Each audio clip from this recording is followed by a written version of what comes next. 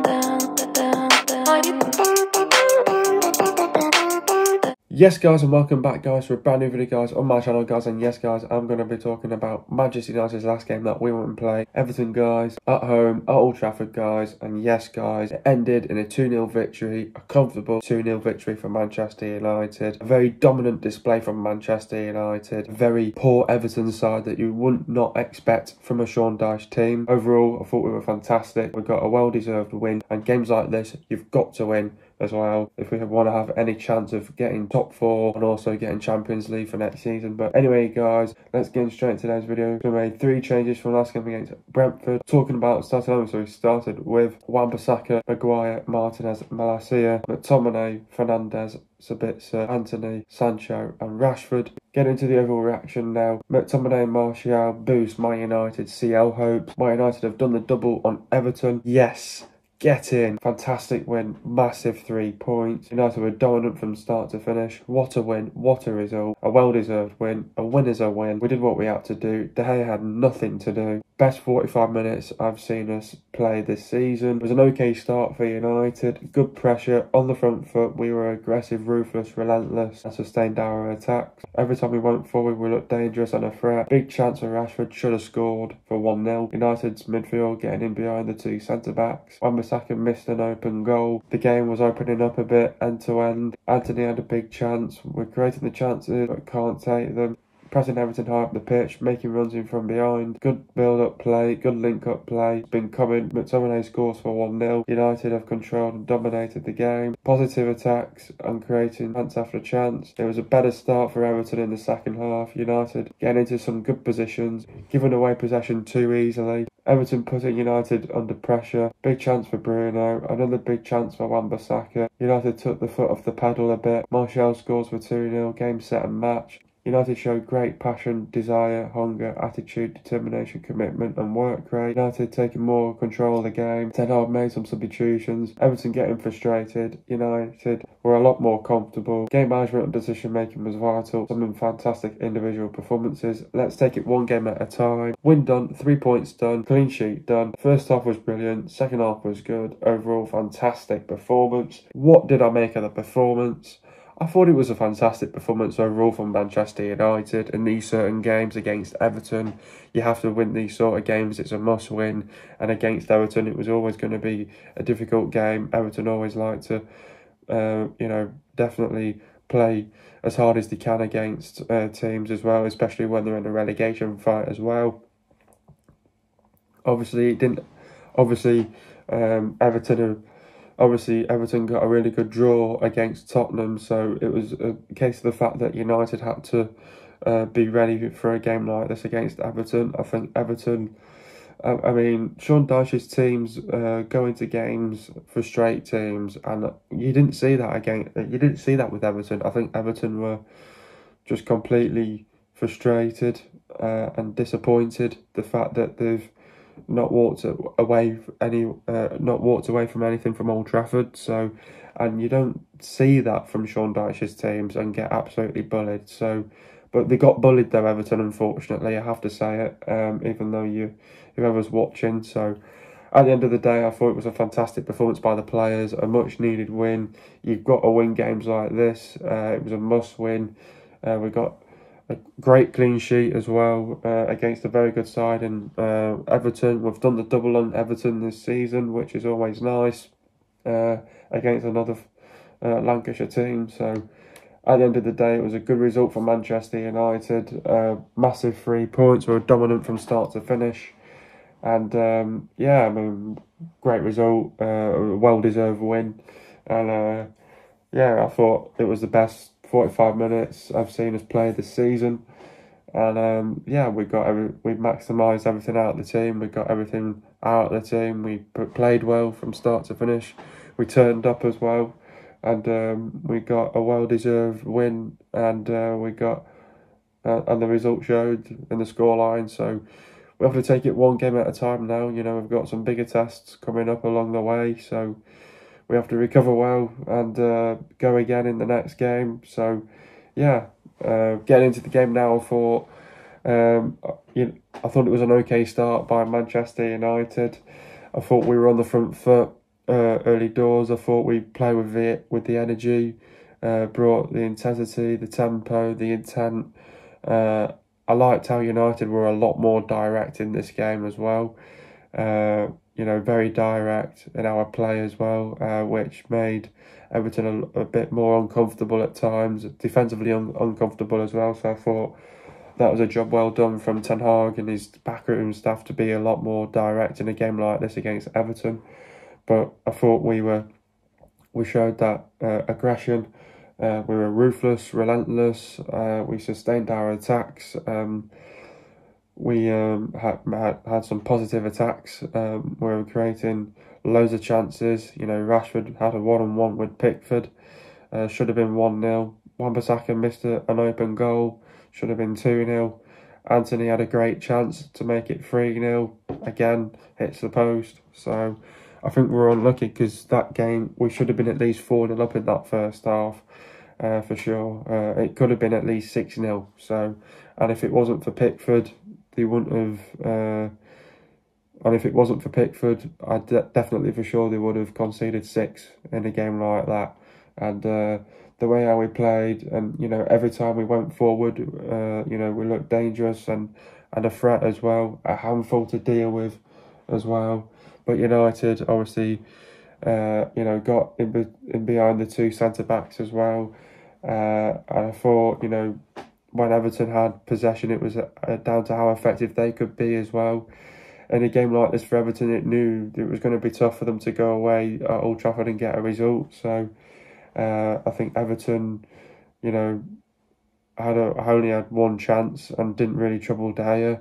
Uh, Simms had a chance and you know just sort of scuffed it and just yeah it wasn't the best of chances for Everton, but uh, yeah uh, but yeah, I thought the game opened up a little bit, but you know we were creating these chances, but we were just not being, we were just not clinical. We were not taking them, and I think as uh, uh as long uh, uh, and then the, as as the game progressed on, it was going to come become frustrating for United if we couldn't take these chances. And obviously, we we had to be, able to score that first goal as well uh, before half time as well. But then I thought we are pressing Everton high up the pitch uh, were making runs in from behind as well.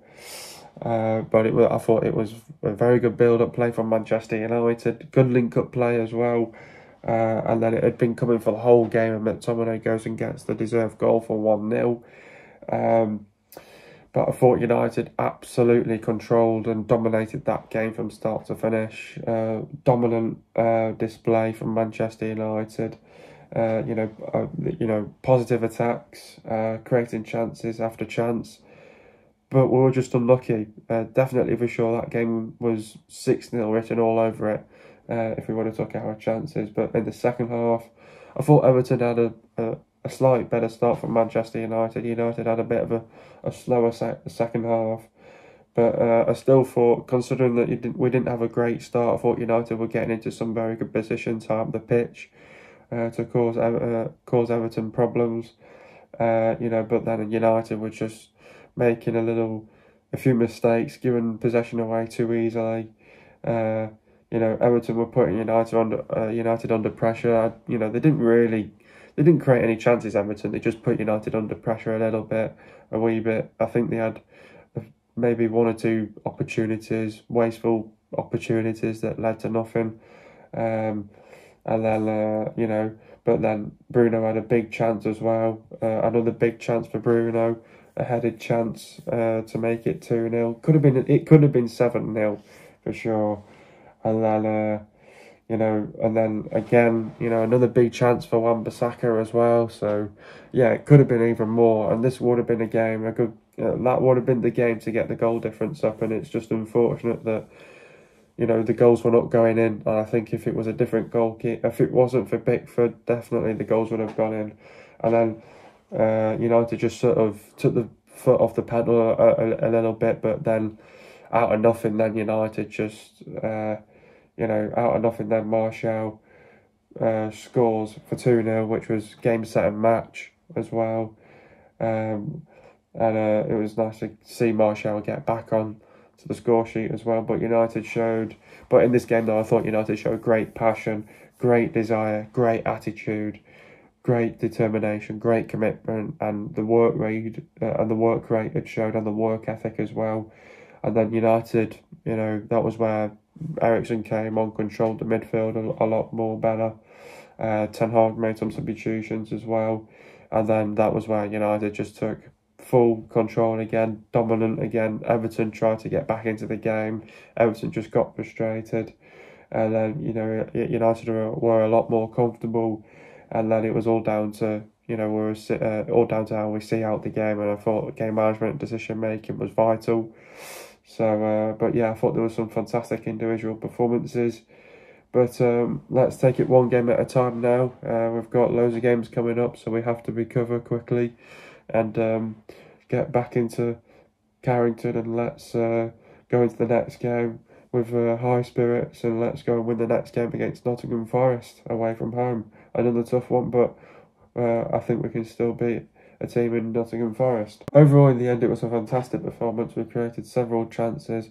We should have scored more goals, but in games against Everton, it's important that we got the win, three points, and also a clean sheet. Yeah, exactly. I think annoying for Manchester United because I think in a game like this, Wan-Bissaka had two chances and Bruno had a chance in the second half, so this game could have been at least seven or eight nil written all over it. It's frustrating for United because we were a lot more direct in this game, and we frustrated Everton. An Everton side that you don't really get to see a lot where they get dominated by teams like that, and Sean Dyche's teams definitely don't dominated like that. I think to do that against a Sean Dyche team is fantastic, and I think he was a bit shocked and surprised what he saw as well, and a bit stunned as well. He can't do anything about it when a team's a lot more direct in their play, putting the ball out wide, putting in some fantastic balls in, in front behind, players getting into some great pockets of spaces, in explosive, a lot more fluent as well in our play. Showed that fluidity all about us as well in that game as well. It's frustrating because we had some positive attacks. We were creating chance after chance after chance after chance, and they were just not falling in the goal. But that would have been the game to get our goal difference up. It's a shame because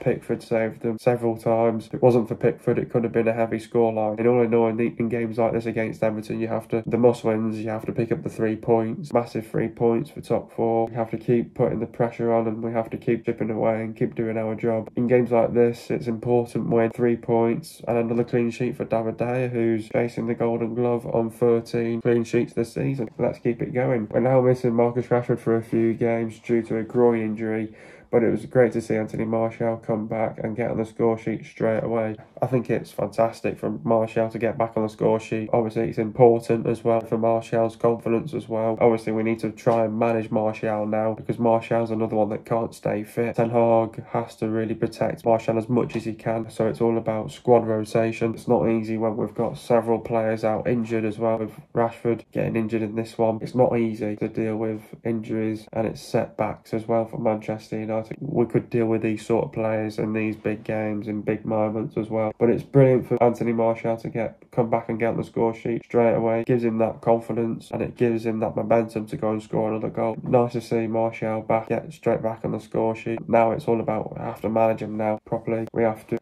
get it right with Martial, keep him fit now from now to the end of the season because he could be a big part now of the squad to the end of the season for sure. Who was my man of the match? I thought there were some players that stood out fantastically well in a game like this. I thought De Gea had nothing to do in a game like this. I thought Wan-Bissaka had a good game. A shame that he didn't score two goals. I thought Maguire had a good game as well. I thought Martinez was good. Malacia was good. I thought McTominay had a, another great game, scored as well.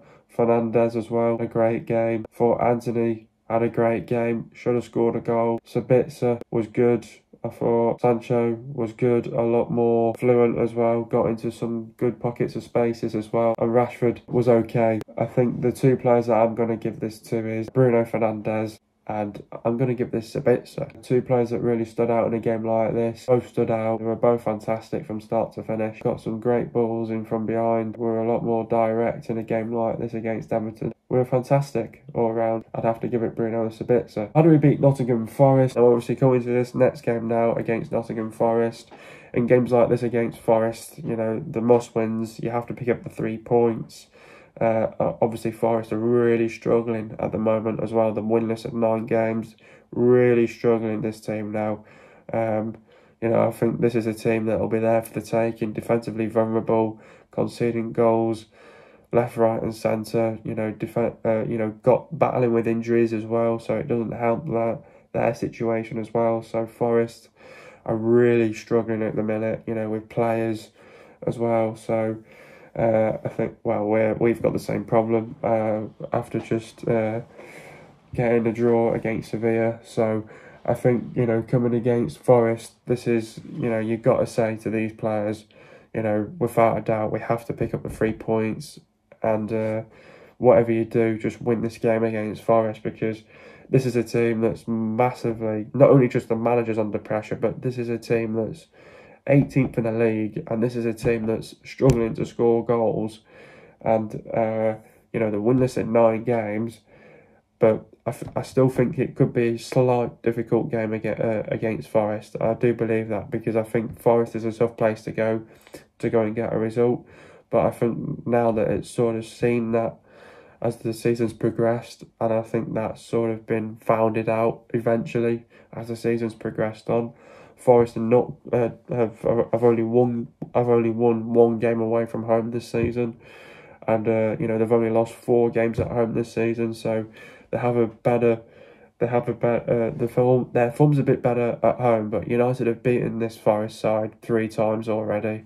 Uh, we had them twice in the Carabao Cup, beat them twice in the Carabao Cup, beat them uh, in the Premier League 3 0. So this is a chance for Manchester United to go and do the double on Nottingham Forest. This Forest uh, this Forest side are really struggling. This is a team that's going to be there for the taking on Sunday, and it's all down to what we do in terms of in and out of possession and how effective we can be and how we can really go and hurt that Forest team. So I think Forest are going to be there for the taking. I think they're just going to try and play with a low block, and when and then when they get possession, it's all about what they can do going forward and making those right decisions going forward.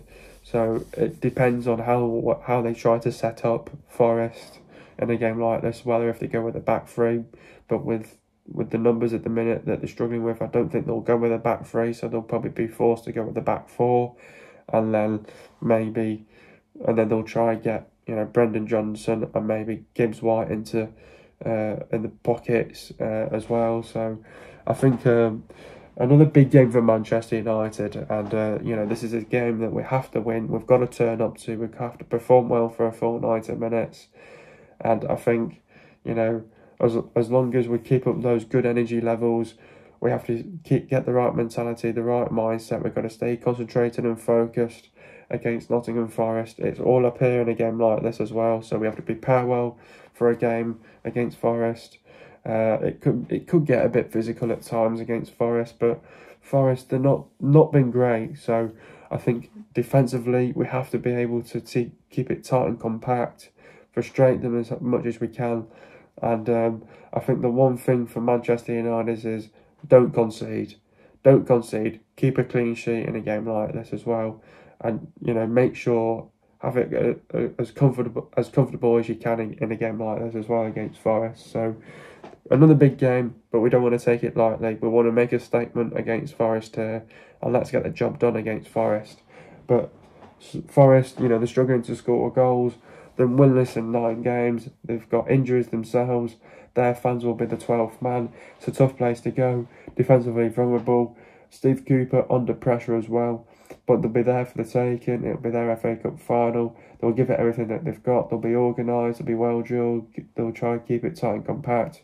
Be organised. They'll play with a low block. Look to counter attack us. When they get their moments, they'll look to take them.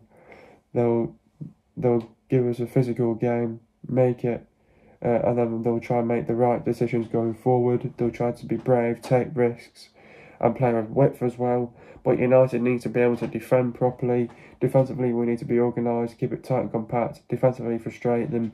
need to be ruthless, relentless, aggressive, high intensity, high tempo, play with energy, create the chances, take your chances, be clinical, get the crosses into the box, drag them out of position, be brave, take risks, set pieces could come into play. We need to play with width, get between the lines, got to close them down. Don't, don't let them back in the game. Don't leave any spaces open. They'll show incredible team spirit, character, and fight. We've got to do the basics right. Game management and decision making. We'll be fighting in a game like this, but we've got to get tight. Don't let them get a shot off. Sustain our attacks. Do the basics. Win your 50 50s, win your second balls, and win your duels. Put them on the put them on the back foot. Keep possession. Fullbacks have got to be effective. Force them to make mistakes. Put them under pressure. Don't let their wingers cut back inside. Don't afford to make mistakes. Make the runs in from behind. Don't get pulled out of position. Be explosive. And keep Aoe quiet. Getting to the goal style, first goal, McTominay passed the ball to Rashford. Rashford trying to find the space to shoot. Rashford passed the ball to Sancho. Sancho finds McTominay and McTominay scores for 1 0. Second goal, Martinez goes long to Rashford. Coleman makes a mistake. Rashford capitalises on Coleman's mistake. Pass the ball to Martial, and Martial taps it in for 2 0. Getting into the stats, possession for Man United, it was at 63.8%. For Everton, it was 36.2%. Goals for Man United, it was 2. And for Everton, it was 0. Total shots, Man United, it was 29. And for Everton, it was 15. Shots on target for Man United, it was 11. And for Everton, it was 1. Shot accuracy for Man United, it was 37.9%. And for Everton, it was 6.7%. Shots inside the box for Man United, It was 20, for Everton it was 9. Shouts out Southern Box for Man United it was 9, for Everton it was 6. Total passes for Man United it was 614 passes and for Everton it was 331 passes. Pass accuracy for Man United it was 87.1% and for Everton it was 71.3%. Getting to the substitutions now, Antony went off for Martial. Talk about Antony's performance. Another creative performance. It hit the post and he was denied by Jordan Pickford, but also wasted two good opportunities, harshly removed for Anthony Martial. Sabitzer went off a thread talking about Martial's performance, thrived in an advanced role. United benefited from Sabitzer pressing and he was a goal threat. Found Fernandes for a fine chance. Sancho went off for Eriksen talking about training's performance, did well to find McTominay to put United 1 0 up, but did not make the most of it in his favoured role against an aging Seamus Coleman. Rashford went off for Martial, talking about Marcus's performance. Could have sparked a goal. Glut with an 8 minute one on one. He struck too close to Pickford. Had other chances but did not score. Assisted Martial. Next up we've got Forest. Forest are 18th in the league. Go into this game now against Forest. This is a game for Manchester United and I just said this before. We've got to win this game and we have to get the three points. And whatever we do against Forest here, we've got to be able to play well for a full 90 minutes. We have to be able to defend well as well. We've just seen what's bloody happened on Thursday night as well. It's all down to what we do in and out of possession. I'm not worried about the midfield. It's just there's slight things with Manchester United that we are trying to improve this team at the minute, but a few things that we need to get better in. We have to be able to build on that as well. I think with Forest, this is a game where we've got to go, right, Forest now on the weekend. Forest are absolutely struggling. Their manager's under pressure. They'll be there for the taking. What they're going to do is, is they're just going to play with a low block, with, go with a back five. They'll just go with a low block, frustrate Manchester United as much as they can. And then what they'll do is, is when they've got possession, they're just going to work it. They're just going to put the ball around. They're going to keep passing it. They'll have their wingers in, in pockets of spaces to be explosive and try and get us on the counter. And then it's all down to how well they can do that going forwards and how they can pick out those passes to their guy is the fact that United have got to be able to defend well, not only just as a team but as a unit as well. It's going to be important that we try and get hold of that midfield against Nottingham Forest. Casemiro's back for this one, so I think Casemiro's going to run this midfield definitely for sure. It's down to how well we can control that midfield. For Manchester United, though, we have to come out quick against a team like Nottingham Forest. They're going to try and have a good start to this game, Forest. It's the fact that we need to get on the front foot early doors and score that first goal in the first sort of 20 minutes or so. Their fans are going to get right behind them. They're going to try and make it as hard as they can Forest against Manchester United. They're going to give it everything that they've got. It's all down to what we do. So we have to be able to turn up to a game like this. Got to perform well for a full 90 minutes. We've got to prepare well for a game like this. Could get a bit competitive and it could get a bit, we might get a bit of end to end action as well. We have to go with the right mindset, the right mentality, prepare well for a game like this in Nottingham Forest. They're a good team, but it's just unfortunate that they just don't have the quality. They'll be there for the taking Nottingham Forest. I just think we're United. We need to be able to get that first goal as soon as we can. It's all about we have to be clinical, take our chances. When we get that first goal, we want to try and get that second goal, and then maybe when they get that second goal, heal the game off.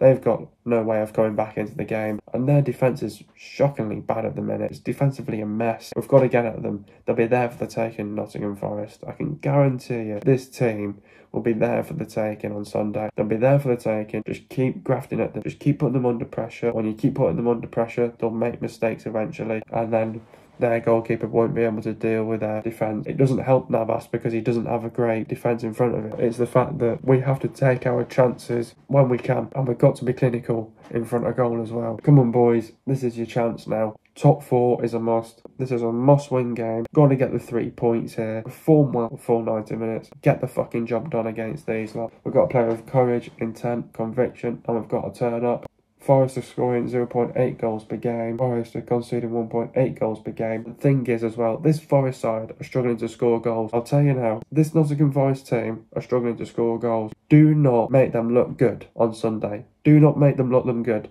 And don't give away cheap goals as well. So it's all about stay concentrated and focused up here as well. And don't take your eye off the ball in a game like this against Forest. Forest have the third worst defence in the league. Forest have won 6, drawn 9 and lost 15. They've lost to Newcastle 2-0, Tottenham 2-0. Man City 6 0, Bournemouth 3 2, Fulham 3 2, Leicester 4 0, Wolves 1 0, Arsenal 5 0, Man United 3 0, Fulham 2 0, West Ham 4 0, Tottenham 3 1, Newcastle 2 1, Leeds 2 1, and Villa 2 0. And it's also a chance for Manchester United to do the double on Forest. Forest have lost four games at home this season. Nottingham Forest are winless in nine games. The players to look out for is Navas, Cook, Worrall, Williams, Toffolo, McKenna, Felipe, London, Mangala, Shelvey, Colback, Gibbs White, Lingard, Cafu, Kouyaté, Yates, Fowler, Danilo, Scarpa, Awoniyi, Surridge, Johnson, Dennis, and Ayew. Hope you guys enjoyed another video. Be sure to leave a like, subscribe to my channel for more new, and I'll see you guys in a video in the next couple of days. And peace.